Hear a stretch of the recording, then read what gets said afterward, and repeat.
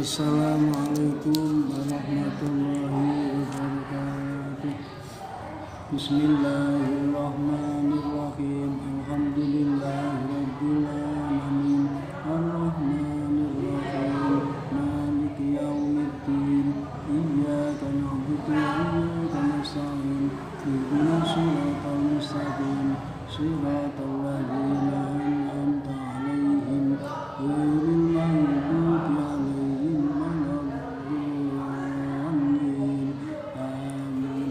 Bismillahirrahmanirrahim. Assalamualaikum. Pelajaran Nahwu Pelajaranipun Nahwu sampun dumugi bab Iqra Tengeri dipun terangake babul i'rabi utawi iki iku bab mertelaake utawa nerangake utawa jelasake i'rab.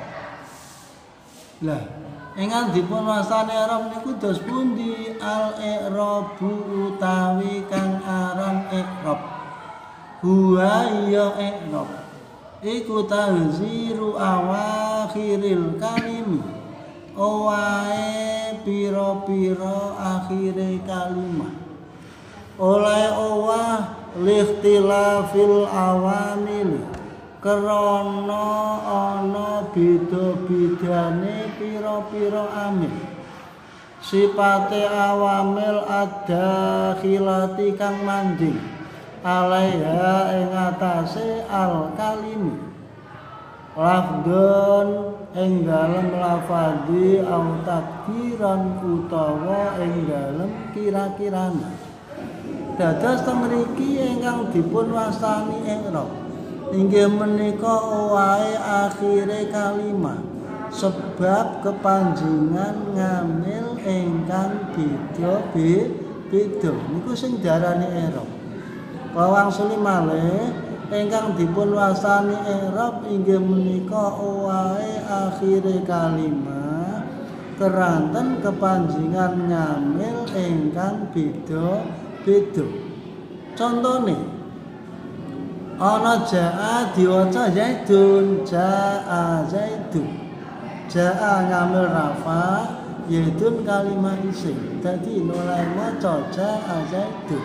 isa diwaca dun sebab ana ngamil rafa rupane ja jaa nek dimaknani jaa wis teka sapa zaidun zaid yaitun diwaca rafa rafa ngangge nduma sebab ana ngamil rafa rupane ja jaa samenika jaa lunga digentos lafat ra'aitu oleh maca ra'aitu zaidan.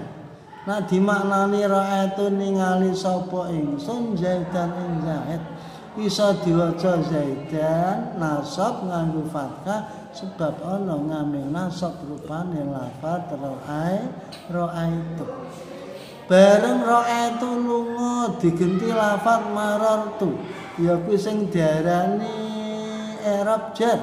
Oleh maca marartu biyaidin Nah dimaknani maror tu liwat sapa ingsun biye din tetemu kelawan zaid isa diwaca din sebab kepanjingan ngamil jar rupane lafat tu dados kalimat niku oleh maca kanggo ndelok ngamile.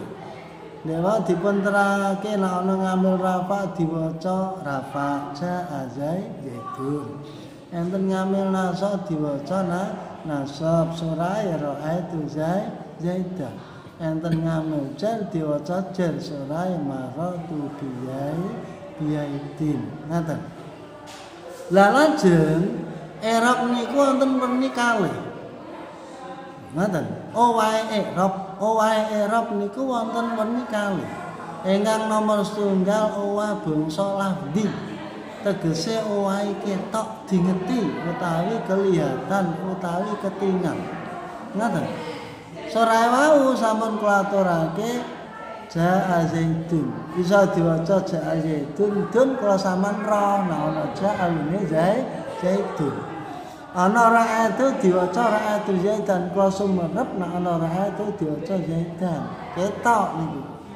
Bareng ana maratu diwaca maratu biaidin kosaman ngertos ro iso muni dun iso muni dan iso muni din kosaman ngertos ngaten niku naminipun laf lafzi ingkang kaping kalih i'rab takdiri.